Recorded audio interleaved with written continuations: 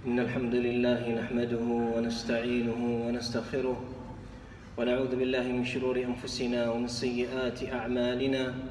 من يهده الله فلا مضل له ومن يضلل فلا هادي له. وأشهد أن لا إله إلا الله وحده لا شريك له. وأشهد أن محمدا عبده ورسوله. يا أيها الذين آمنوا اتقوا الله حق تقاته. ولا تموتن إلا وأنتم مسلمون. يا أيها الناس اتقوا ربكم الذي خلقكم من نفس واحدة وخلق منها زوجها وبث منهما رجالا كثيرا ونساء واتقوا الله الذي تساءلون به والأرحام إن الله كان عليكم رقيبا يا أيها الذين آمنوا اتقوا الله وقولوا قولا سديدا يصلح لكم أعمالكم ويغفر لكم ذنوبكم ومن يطع الله ورسوله فقد فاز فوزا عظيما. أما بعد فإن أصدق الحديث كلام الله وأحسن الهدي هدي محمد رسول الله صلى الله عليه وسلم وشر الأمور محدثاتها وكل محدثة بدعة وكل بدعة ضلالة وكل ضلالة في النار. أسأل الله العظيم. رب العرش العظيم. بمنه وكرمه وعفوه ولطفه ومغفرته أن يجيرني وإياكم منها. عباد الله قال الله سبحانه وتعالى وقل ربي أخرجني مخرج صدق وأدخلني مدخل صدق واجعل لي من لدنك سلطانا نصيرا. يقول الحسن البصري بعدما أن أراد كفار مكة إما أن يقتلوا النبي صلى الله عليه وسلم أو يطردوه أو يحبسوه. أنزل الله سبحانه وتعالى هذه الآية إيذانا للنبي صلى الله عليه وسلم وأمرا له بأن يهاجر من مكة إلى المدينة. لهذا قال قتادة في قول الله سبحانه وتعالى وقل ربي أخرجني مخرج صدق أي أخرجه من مكة.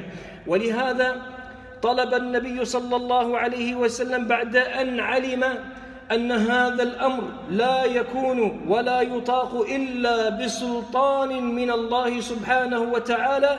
دعا الله دعا الله سبحانه وتعالى بأن يكون الله سبحانه وتعالى له النصير. فلهذا قال النبي صلى الله عليه وسلم في دعائه كما أخبر الله سبحانه وتعالى واجعل لي من لدنك سلطانا نصيرا. الهجرة سبيل الأنبياء. فقد هاجر الأنبياء من قبل نبينا صلى الله عليه وسلم. فهذا أبونا إبراهيم عليه السلام عندما أرادوا به كيدا قال الله سبحانه وتعالى فأرادوا به كيدا فجعلناهم الأسفلين وقال إني ذاهب إلى ربي سيهدين. فعندما رأى لوط عليه السلام عمه إبراهيم عليه السلام قد أنجاه الله سبحانه وتعالى من النار فقال الله سبحانه وتعالى فآمن له لوط وقال إني مهاجر إلى ربي سيهدين فالهجرة هي سبيل الأنبياء. وكذلك موسى عليه السلام هاجر وأمره الله سبحانه وتعالى بالهجرة. الهجرة سبيل النجاة. فقد تبين أن الهجرة هي سبيل النجاة من البغاة ومن الأعداء ومن الطغاة ومن الظلمة. فأمر الله سبحانه وتعالى الهجرة من بلاد الكفر إلى بلاد الإسلام. وفي الهجرة فيها المنافع الكثيرة. وقد أخبر الله سبحانه وتعالى في كتابه أن الذي يهاجر ويريد بهذه الهجرة مرضات الله سبحانه وتعالى فإن الله سبحانه وتعالى سيهيئ له. من؟ يعينه. ويجتمع الناس حوله قال الله سبحانه وتعالى ومن يهاجر في سبيل الله يجد في الأرض مراغما كثيرا وسعة ومن يخرج من بيته مهاجرا إلى الله ورسوله ثم ثم وقع عليه فوقع أجره على الله وكان الله غفورا رحيما. فالهجرة سبيل النجاة والهجرة هي سبيل الأنبياء.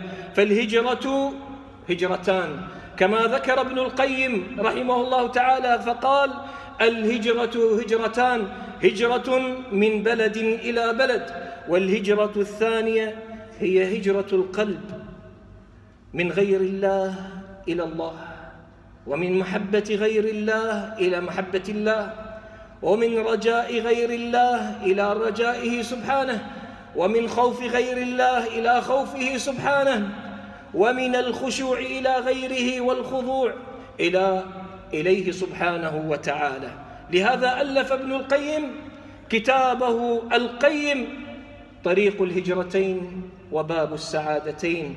طريق الهجرتين أي هجرة إلى الله وهجرة إلى رسوله والهجرة إلى رسوله بمتابعته والتأسي به ومعرفة شؤونه صلى الله عليه وسلم وفي شؤونه كلها من عبادة ومعاملة وأخلاق. فيهاجر العبد ليس ببدنه وجسده فقط فلهذا يقول ابن القيم فإن هجرة القلب هي الهجرة الحقيقية وهي الأصل. ما هاجر الصحابة من مكة إلى المدينة والنبي صلى الله عليه وسلم بأبدانهم وجسدهم وقلوبهم معلقة بغير الله. إنما هاجرت قلوبهم فهاجرت هذه الأجساد من مكة إلى المدينة.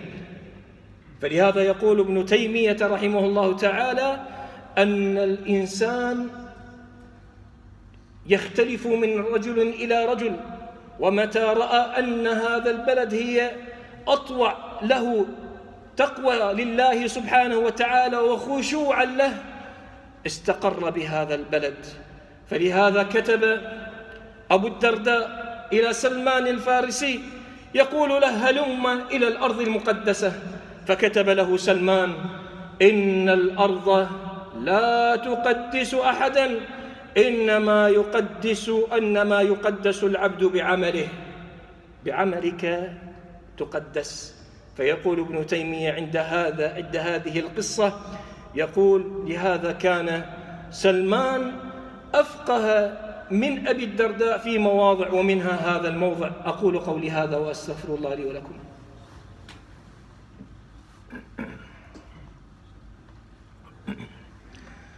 الحمد لله رب العالمين والصلاة والسلام على نبينا محمد وعلى آله وصحبه أجمعين. اللهم صل على محمد وآل محمد كما صليت على إبراهيم وعلى آل إبراهيم إنك حميد مجيد. وبارك على محمد وآل محمد كما باركت على إبراهيم وعلى آل إبراهيم إنك حميد مجيد.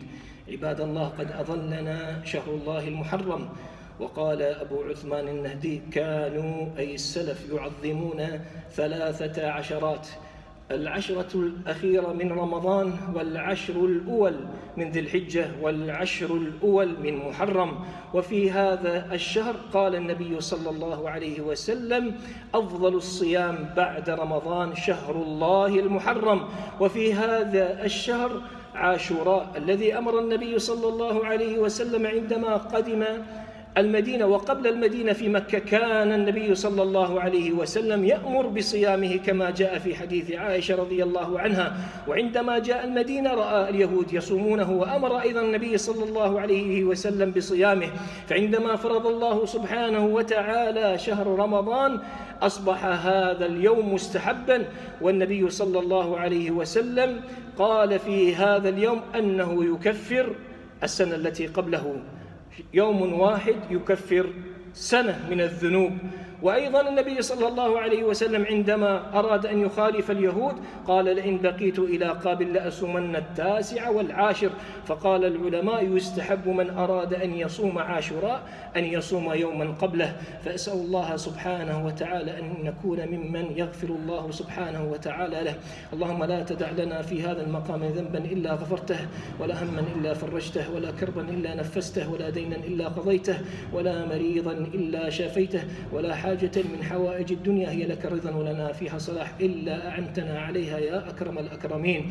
اللهم اغفر لنا ذنوبنا وإسرافنا في أمرنا. اللهم يا مصرف القلوب صرف قلوبنا لطاعتك. اللهم يا مثبت القلوب ثبت قلوبنا على دينك.